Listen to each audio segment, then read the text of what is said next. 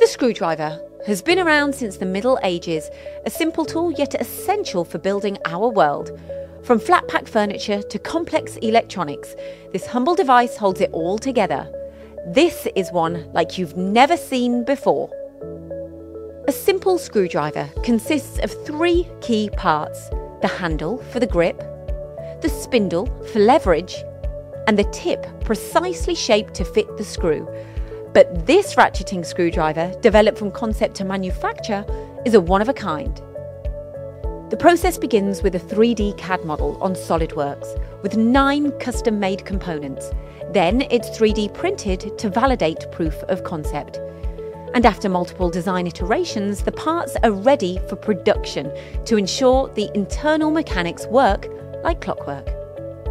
The handle, built from 42mm aluminium bar, was designed to resemble an hourglass shape, so it's ergonomic and lightweight. Machined on a twin spindle twin turret fixed head lathe, its high degree of accuracy is far from your typical screwdriver.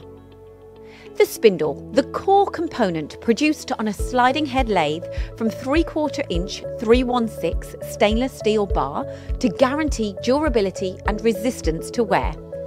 And finally, the mechanism. Digitally tested before manufacture, each prismatic component fits with micro precision.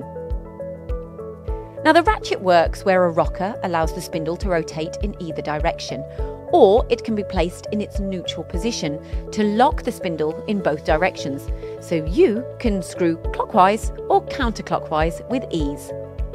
From raw bar to finished tool, this screwdriver demonstrates thoughtful design, skillful engineering, and manufacturing expertise, proving the value of having the right tool for the right job.